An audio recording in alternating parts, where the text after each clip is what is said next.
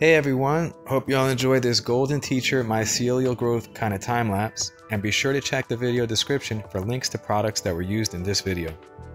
The grain bag here is 100% sterilized millet and hardwood oak with a self-healing injection port and micron filter built in.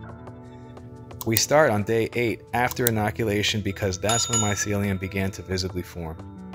You can see she's looking lovely and contaminant free, and this is a perfect time to name her. Celia. The cool thing about Celia sitting on this shelf is the shelf lines act as a grid so you can really monitor progress if you focus on specific sections of the grid. And I'm only going to narrate the highlights of this process, so sit back, relax, and enjoy experiencing Celia's journey.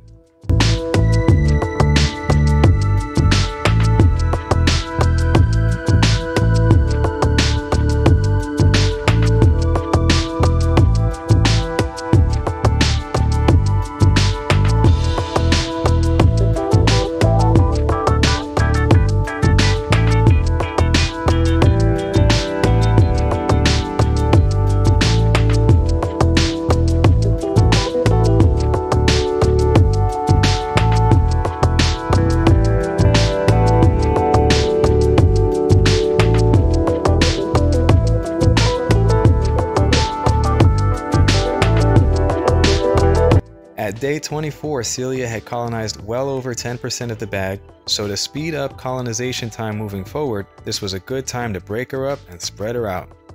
This accelerates things in two different ways. First, spreading the mycelium evenly throughout the entire bag helps ensure that all of it isn't competing for the little bit of nutrition in just that tiny bottom section of the bag it was mainly growing in. Once spread out, Celia now has plenty of room and food to grow in all directions. Second, mixing up the bag creates a gas exchange through the micron filter, out with the carbon dioxide and in with the oxygen. This happens naturally as the bag is manipulated, no need to open or remove anything. You'll notice by the time this step is finished, you can barely even see the mycelium anymore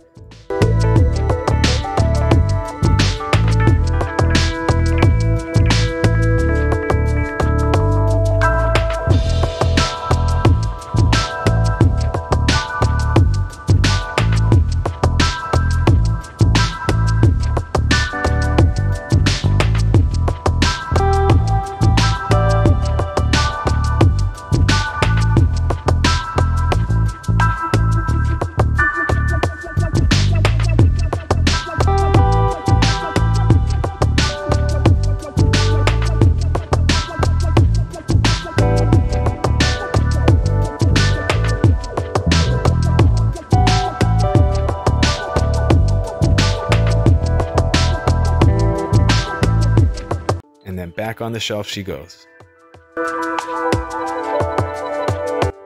Here on day 25, the very next day, you can see she's everywhere and has plenty of food all around.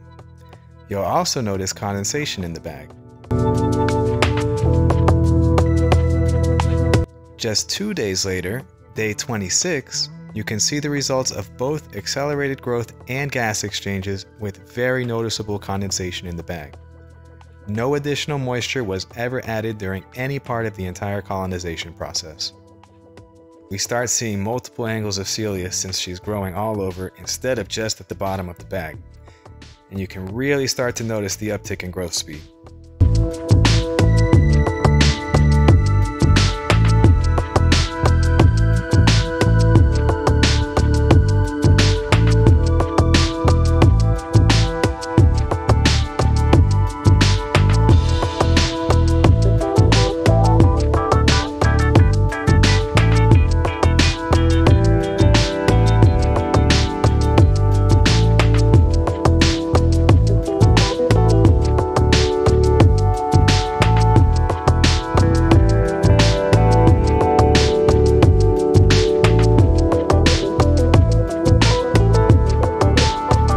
Day 32, most of the bag is colonized, but interestingly, the sides of the bag that receive the least amount of light seem to be lagging. We just need a little more time for these sides.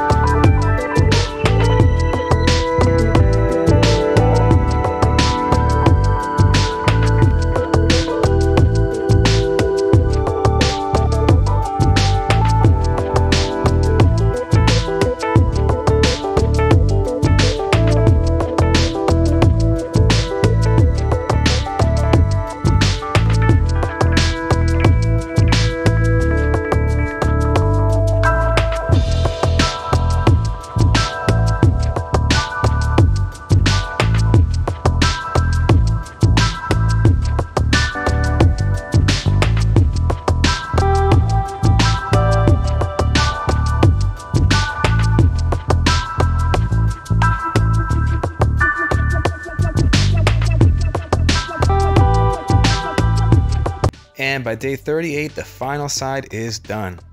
It'd be really easy to confuse the specks in there as a contaminant. However, you'll notice each grain only has one speck, and this is just how it looks when the grain is pressed against the bag without mycelium covering that tiny section of it. And this means it's time to prep the bulk substrate. Thanks for watching, and more videos on additional steps from spore to fruited body coming soon.